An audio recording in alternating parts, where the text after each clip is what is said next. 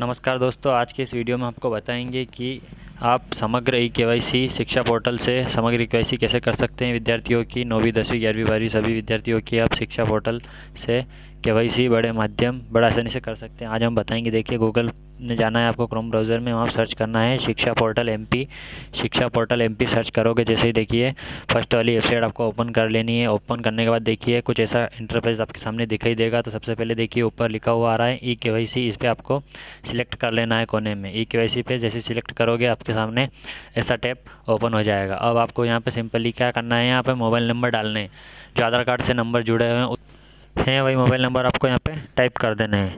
Mobile number डालने के बाद सिंपली आपको देखिए यहाँ पे क्या करना है कैप्चर कोड डालना है। कैप्चर कोड जो आपके सामने आपको दिखाई दे, वो यहाँ कैप्चर कोड डाल लीजिए, उसके बाद यहाँ पे ओटीपी प्राप्त करे पे क्लिक कर देना है। जैसे आप ओटीपी प्राप्त करे पे क्लिक करोगे तो आपके सामने देखिए कुछ ऐसा इंटरफेस दिखाई देगा।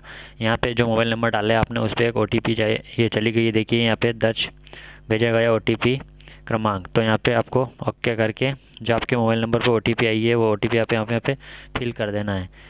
देखिए ओटीपी डालने के बाद सबमिट ओ टी पे आपको यहाँ पे क्लिक कर देना है। जैसे इस पर क्लिक करोगे तो यहाँ पे नया पेज ओपन होगा। देखिए, यहाँ पे समग्र आईडी समग्र आईडी पूछ रहा है विद्यार्थी की। तो जो सदस्य आईडी होती है, नौ अंक की वो यहाँ पे आपको टाइप कर देना सदस्य की। जिसकी भी आप विद्यार्थी की के कर रहे हैं, वो समग्र आईडी आप यहाँ पे डाल लेनी है। समग्र आईडी सिंपली आप यहाँ पे डाल लीजिए।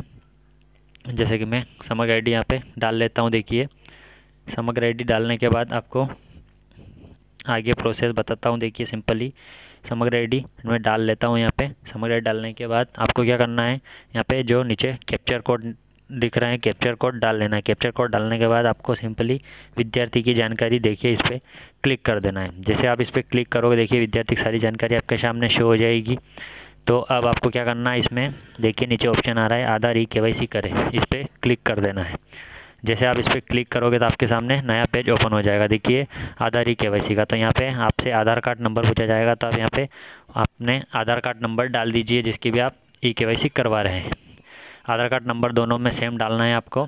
दोनों में आधार कार्ड नंबर डालने के बाद सिंपली आपको करना क्या है? ओटीपी द्वारा ई के वाई सी करें इस पर क्लिक कर देना है। अगर बायोमेट्रिक से करना चाहते हैं तो बायोमेट्रिक पर क्लिक कर दीजिए अन्यथा ओटीपी द्वारा ई के वाई सी करें इस पर क्लिक कर दीजिए। देखिए जो मोबाइल नंबर आधार कार्ड से जुड़े हुए हैं उस पर ओ चली गई हैं। सिंपली वो ओ आपको यहाँ पे फिल कर देना है। जो आपके मोबाइल नंबर जुड़े हैं आधार से उस पर ओ चली गई हैं। वो ओ आप में आपको डाल लेनी है। ओटीपी डालने के बाद आपको सिंपली क्या करना है इसमें? देखिए ओ डाल ली है उसके बाद यहाँ पे आपको टिक लगा के सबमिट कर देना है। जैसे सबमिट करोगे तो आपके सामने देखिए, विद्यार्थी की पूरी डिटेल ओपन हो जाएगी खुल के। देखिए, ये फ़ोटो वगैरह, जो भी डिटेल है, आधार की, समग्र की, दोनों डिटेल यहाँ पे खुल के ओपन हो गई हैं। अब देखिए, आगे क्या करना है, आपको यहाँ पे डिटेल देख लेनी है, समग्र की समग्र की और स्टूडेंट के आधार की, दोनों डिटेल यहाँ पे शो हो गई हैं। तो आपको सिंपली अब क्या करना है कंप्लीट ई के वाई सी पे क्लिक कर देना है दोस्तों।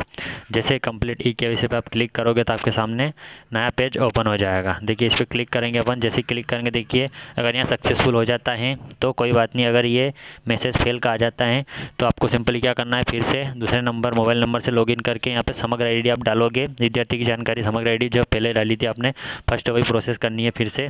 और समग्र आईडी डालने के बाद आपको यहाँ पर कैप्चर डालने के बाद विद्यार्थी की जानकारी देखे पे क्लिक करोगे तो आपके सामने, देखिए, नीचे डिटेल शो हो जाएगी। E K Y C complete pending for receive at school मतलब ये के वाई सी सक्सेसफुल हो चुकी है आपने, जो करी है। अगर वो फेल का मैसेज आता है तो आपको ये प्रोसेस करनी है। अन्यथा, वहाँ पे अगर सक्सेसफुल का मैसेज आ जाता है तो कोई बात नहीं। और अगर फेल का मैसेज आता है तो आपको ये जानकारी फिर से इस तरीके से भर के देख लेना है कि आपकी समग्र ई के वाई सी सक्सेसफुल हुई है या नहीं। तो दोस्तों, इस तरीके से आप देख सकते हैं। यहाँ पे लिखा हुआ आ गया है E K Y C complete pending for received at school मतलब स्कूल में पेंडिंग है तो वो जल्दी ही वहाँ पे हो जाएगी सक्सेस धन्यवाद।